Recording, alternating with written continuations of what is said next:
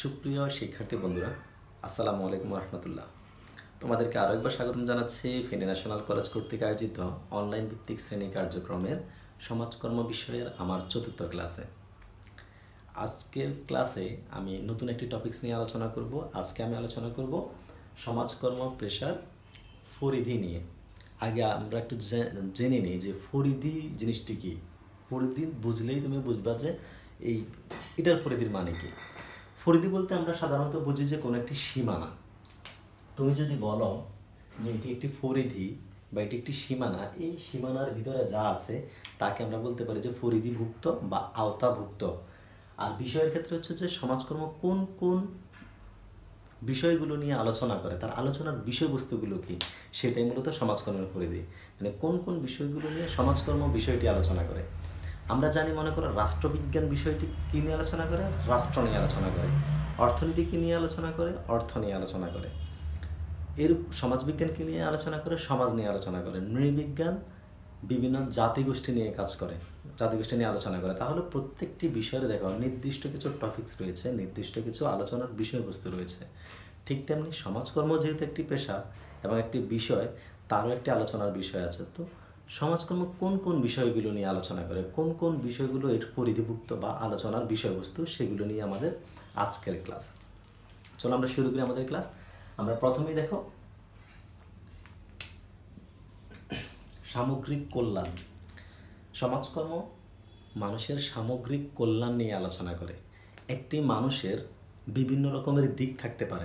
তার অর্থনৈতিক দিক থাকতে পারে, তার রাজনৈতিক দিক থাকতে পারে, সামাজিক সামাজিক দিক থাকতে পারে, তার ধর্মীয় দিক দিক থাকতে পারে, তার শারীরিক, মানসিক দিক থাকতে পারে, অনেকগুলো দিক থাকে। এই সবগুলো দিকের কল্যাণ নিয়ে কাজ করে সমাজকর্ম। একটা মানুষ অর্থনৈতিক সমস্যায় জর্জরিত হইতেই পারে। সে বিভিন্ন ধরনের সামাজিক সমস্যায় পড়তেই পারে। তার বিভিন্ন রকমের মানসিক সমস্যাটা থাকতেই পারে, মানসিক বিভিন্ন সমস্যা সে পড়তেই পারে। তো যখনই তুমি এই বিষয়টি যখন মানসিক সমস্যার সমাধান করবে, তখন অবশ্যই তার মানসিক কল্যাণ হবে। যদি সে তার সামাজিক সমস্যার সমাধান করে, অবশ্যই সেটি সামাজিক কল্যাণ হবে। আর যদি সে অর্থনৈতিক সমস্যাগুলো সমাধান করে, অবশ্যই সেটি অর্থনৈতিক কল্যাণ হবে। তার মানে একটি মানুষের সার্বিক সকল ধরনের কল্যাণ নিয়ে আলোচনা করে সমাজকর্ম। তারপর আসে দুই নাম্বার পয়েন্ট সকল মানুষের আলোচনা। আমরা জানি একটি দেশে বিভিন্ন ধরনের জাতিগোষ্ঠী বসবাস করে। আবার বিভিন্ন জাতিগোষ্ঠীর মধ্যে বিভিন্ন জাতি, উপজাতি, ধনী, দরিদ্র উঁচু, নিচু, সাদা, কালো, বিভিন্ন রকমের মানুষের বসবাস রয়েছে। তো এমন কিছু এমন কিছু কিছু বিষয় রয়েছে যা নির্দিষ্ট কিছু জাতিকে নিয়ে বা নির্দিষ্ট কিছু উপজাতিকে নিয়ে কাজ করে। কিন্তু সমাজকর্মের বিষয়টি একটু ভিন্ন। দেখো, সমাজকর্মে এখানে ধনী বলো, গরিব বলো, একটি সমাজে যারা যারা বসবাস করে, সকল ধরনের সব মানুষের সকল সমস্যা নিয়ে সমাজকর্মের আলোচনা।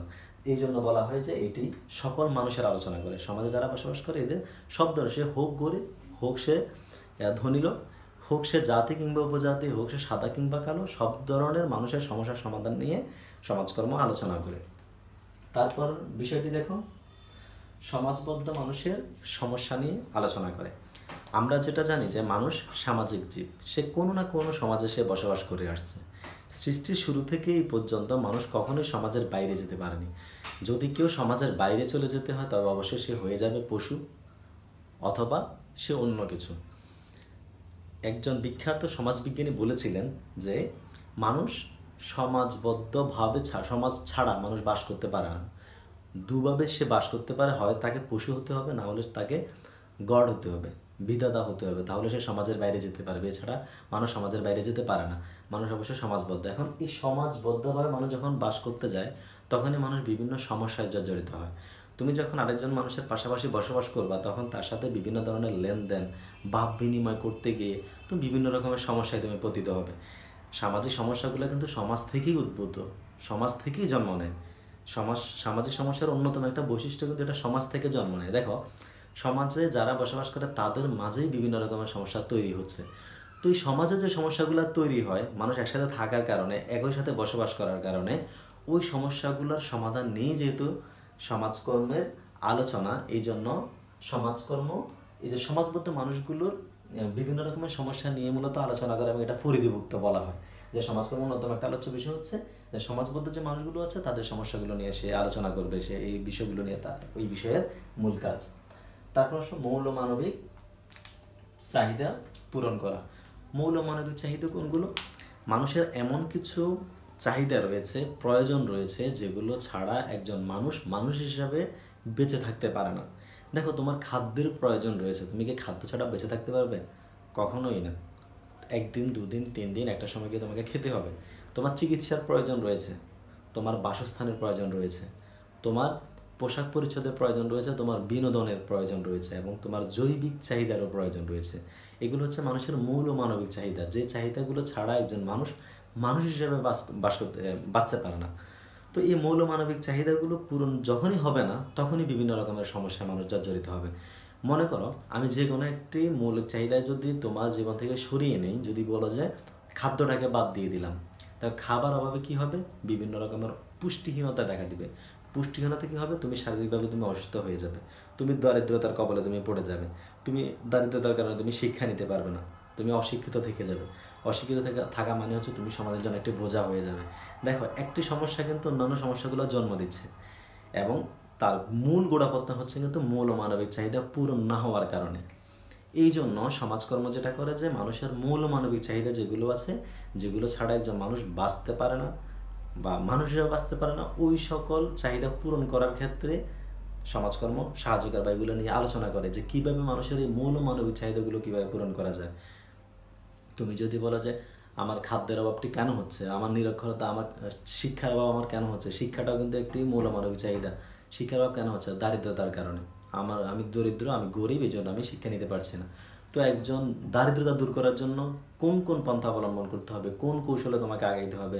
কোন ধরনের নীতিগুলো তোমাকে গ্রহণ করতে হবে? সমগ্র দেশব্যাপী কোন নীতি বা কোন পরিকল্পনাগুলো নিতে হবে? সেগুলো নিয়ে কিন্তু সমাজকর্মের কাজ। তার মানে সমাজকর্ম মানুষের মৌল মানবিক চাহিদা কীভাবে পূরণ করবে সেটি নিয়ে কাজ করে। আর একটি খুব গুরুত্বপূর্ণ বিষয়, সেটি হচ্ছে ত্রিমুখী ভূমিকা। এটি খুবই গুরুত্বপূর্ণ এই জন্যই যে অনেক সময় খ, সৃজনশীল খতে চলে আসে বা গতে অনেক সময় চলে আসে যে সমাজকর্মের ত্রিমুখী ভূমিকা বা ত্রিবিধ ভূমিকাটা কি?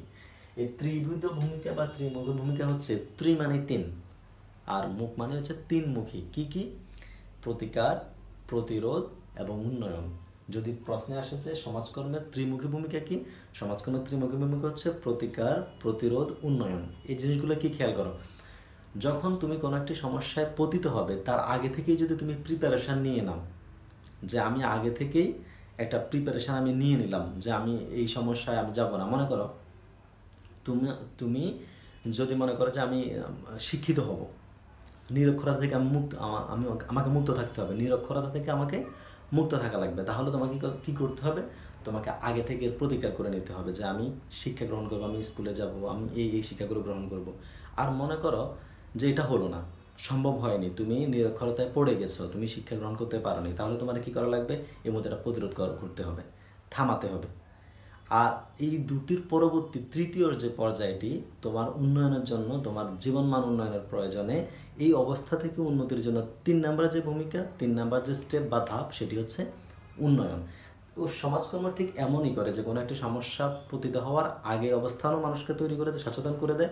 মনে করো এইডস একটি গুরুত্বপূর্ণ, একটি খুবই ভয়াবহ একটি রোগ। করোনা এটি খুবই ভয়াবহ একটি রোগ। এই রোগগুলো থেকে তুমি কীভাবে বেঁচে থাকবে? আগে থেকে তোমাকে সচেতন করে দিবে।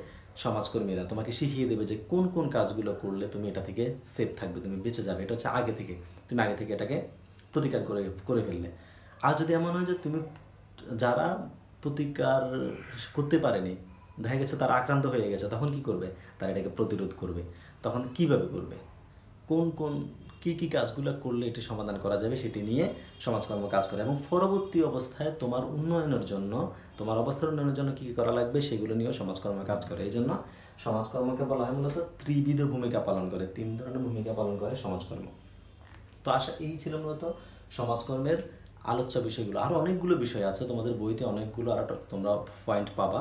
যেহেতু এটা, এটি একটি অনলাইন ক্লাস এটা সর্বোচ্চ দশ থেকে পনেরো মিনিটের বেশি নেওয়া যাচ্ছে না এই জন্য আমি অনেকগুলো বিষয় নিয়ে আমি আলোচনা করা আমার পক্ষে সম্ভব না। আমি গুরুত্বপূর্ণ টপিক পয়েন্টগুলো ধরে ধরে আমি আলোচনা করছি এই জন্য আমি পাঁচটি টপিক্স নিয়ে আমি আলোচনা করলাম, পাঁচটি পয়েন্ট নিয়ে আমি আলোচনা করলাম। তো আশা করি এই পাঁচটি পয়েন্টে কারও কোনো সমস্যা থাকার কথা না। এরপরও যদি কোনো সমস্যা থাকে, অবশ্যই তুমি কমেন্ট বক্সে প্রশ্ন করো, তুমি উত্তরটি পেয়ে যাবে। তো আজ এই পর্যন্তই। আবার আগামী ক্লাসে নতুন কোনো টপিক নিয়ে তোমাদের সামনে হাজির হব। সে পর্যন্ত তোমরা সবাই ভালো থাকো, সুস্থ থাকো। আল্লাহ হাফিজ।